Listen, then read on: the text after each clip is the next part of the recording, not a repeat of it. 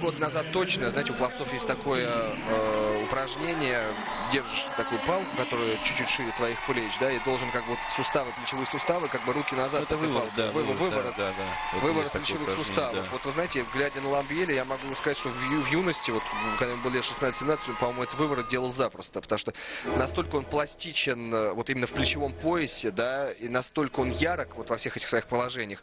Конечно, индивидуальность э, Ламбьеля даже нечего обсуждать, поэтому не имеет смысла Ну сейчас вот э, благодаря этому, что копировать. благодаря этому, что стали такие элементы, как э, вращение, уделять им огромное внимание. У нас есть специальные программы, по которым катаются фигуристы.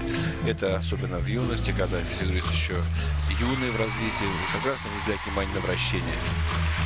Вот вопрос, э, я так понимаю, пришел еще вчера от вас, но только сейчас мы можем на него ответить. Как же все фигуристы из последней разминки без четверного, все кроме Жубера, кто с четверным, тот проиграл? Но я думаю, если вы смотрели нашу вчерашнюю трансляцию, вечернюю, конечно, яркое было зрелище, все без четверного. Вот тут мы, конечно, с вами поспорим. Андрей Лутай исполнил четверной тулуп, Кевин Вандерпелен исполнил четверной тулуп, э, э, Томаш Вернер э, исполнил четверной прыжок, вы понимаете? То есть как раз в последней разминке все, кто боролись за медали, все попытались исполнить Отдельно или в каскаде, да, да, так или иначе, прыжок. Вот такой еще вопрос. Окончательно, окончательно ли ушла из любителей Мишель Кван? Э, Сейчас у меня тут специально даже было заготовлено официальное сообщение по поводу Мишель Кван. Э, Ссылка на ее сайт. Э, Пятикратная чемпионка мира Мишель Кван не будет участвовать в соревнованиях сезона 2006-2007. Она, мы помним, да, что она отказалась от участия в Олимпийских играх, от продолжения э, борьбы. Она приехала в Турин. Ей зарезервировала американская сборная место на Олимпийских играх, э, но, к сожалению, из-за травмы она снялась, из-за травмы бедра. Она восстанавливалась после операции, после этой травмы. Э, Вот. Несмотря на проблемы со здоровьем, вот официальная информация, полностью отказываться от фигурного катания она не намерена. В наступающем сезоне Кван будет участвовать только в показательных выступлениях, а через год обещает подумать об итогах сезона и решить, стоит ли возвращаться в спорт. Это к вопросу, вернется ли Мишель Кван. Но это то же самое, что вернется ли Ирина Слуцкая Сидзуку Аракава. Что можно сказать о Сидзуке Аракава? Она получила приз от Японской ассоциации изготовителей джинсов. Вот. Ну, раз- разные премии бывают в мире. Ей, видимо, дали эту премию за то, что она э, краше всех носит э, джинсы японских каких-то марок. Чем сейчас занимается Ежа, Ежа Сабовчик и Петер Барна? Ну, Сабовчик постоянно участвует в шоу, несмотря на его возраст, блестяще справляется с прыжками, высоченные прыжки у него. Мы это, дорогие друзья, если вы видели наши трансляции с Оберсдорфа, гала-концерт, да. да, регулярно Ежа Сабовчик, гость Оберсдорфских предновогодних гала-концертов.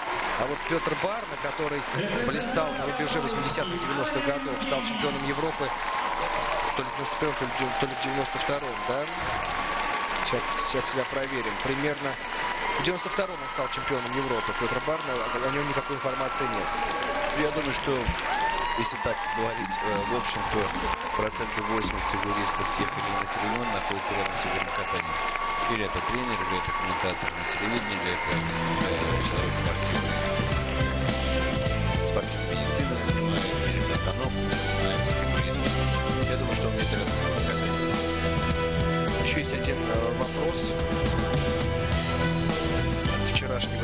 Назовите трех лучших, три лучших персональных результата у мужчин. Ну, это, видимо, в течение нашего, э, нашего репортажа о произвольной программе у одиночников приходили вопросы. А вот только сейчас мы видим. Три лучших персональных результата у мужчин. Ну, если говорить о сегодняшнем сезоне, это, естественно, Брайан Жубер, это, естественно, Набунари Ода и, естественно, Дайсуки Такахаси, японец. Сезоне это три лучших результата у мужчин.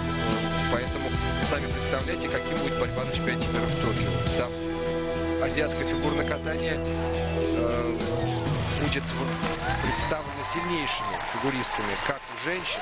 Во-первых, это кореянка Юна Ким, которая неожиданно выиграла финал Гран-при. Это Мао Асада, японская фигуристка, да, два японца и еще сильные китайские фигуристы. В парах, естественно, китайцы. То есть, э, я думаю, что Европа и Америка, Танцы Америка, Канада, да. говорят так, чуть-чуть прямолинейно отдохнут в Токио. Так, это мы распрощались с вопросами дня вчерашнего. И вот сейчас только что нам принесли только ш- вот последние вопросы ваши, дорогие телезрители. techniczne wynosi 20 punktów i 75 Скажите, куда пропала Вероника Кропотина? Ocena za komponenty to 17 Вероника punktów Кропотина. i 69 Наверное, туда, откуда информация не доходит никакая, честно говоря.